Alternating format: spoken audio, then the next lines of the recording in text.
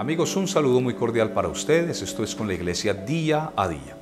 Después del tiempo pascual que vivimos con tanta intensidad, con tanta alegría, hemos eh, venido celebrando cada fin de semana eh, fiestas y solemnidades litúrgicas que tienen una especial relevancia en la vida de la iglesia y en la vida de los cristianos. Recordemos la gran solemnidad de Pentecostés con la que cerrábamos ese tiempo litúrgico de la Pascua. Eh, acabamos de celebrar la solemnidad de la Santísima Trinidad, una solemnidad también sumamente importante para nosotros. Es el gran misterio de la fe cristiana, el misterio de Dios uno y trino. Ahora nos disponemos este fin de semana para celebrar la solemnidad del, Corpus Christi, la fiesta del cuerpo y la sangre de Cristo.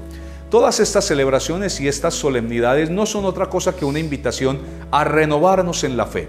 Son una invitación a recuperar, digamos, el sentido de fe y el amor y el amor a la fe cristiana. Son celebraciones que nos invitan sobre todo a profundizar en los contenidos de la fe.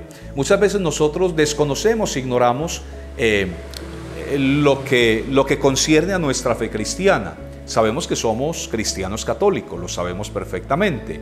Nos consideramos hijos de la iglesia y procuramos pues vivir eh, nuestra misma condición bautismal, vivir la, vida sacramental, la oración, pero cuando de pronto tenemos que dar razón de nuestra fe, cuando tenemos que eh, quizá exponer las verdades de la fe y nos quedamos muy cortos, realmente no sabemos mucho acerca de la fe cristiana, desconocemos aún las cosas más básicas y elementales de la fe cristiana.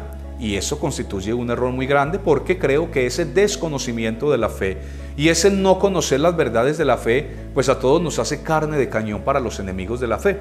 Y eso es lo que justamente ocurre muchas veces, que el desconocimiento de la fe, el desconocimiento de la doctrina cristiana, así como el desconocimiento de la palabra de Dios, muchas veces nos pueden llevar, pues a caer en manos de personas que digamos que pueden sacar provecho de nuestra ignorancia del poco conocimiento que tenemos de la fe cristiana.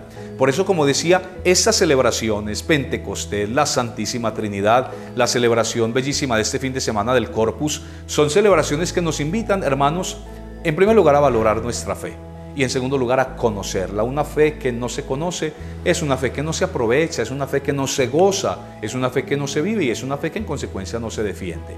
Los tiempos en los que estamos esos tiempos que estamos viviendo exigen de nuestra parte conocer la fe, porque tenemos que, tendremos que hacer muchas veces apologética, es decir, defensa de la fe. ¿Y cómo defender la fe?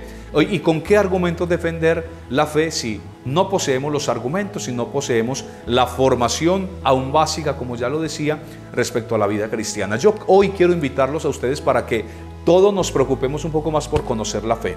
Tenemos en la casa la palabra de Dios, tenemos en casa quizá el catecismo de la iglesia o tenemos tantos, otros medios para que profundicemos en el conocimiento de nuestra fe y así podamos conocerla, amarla cada día más y defenderla. Dios les bendiga.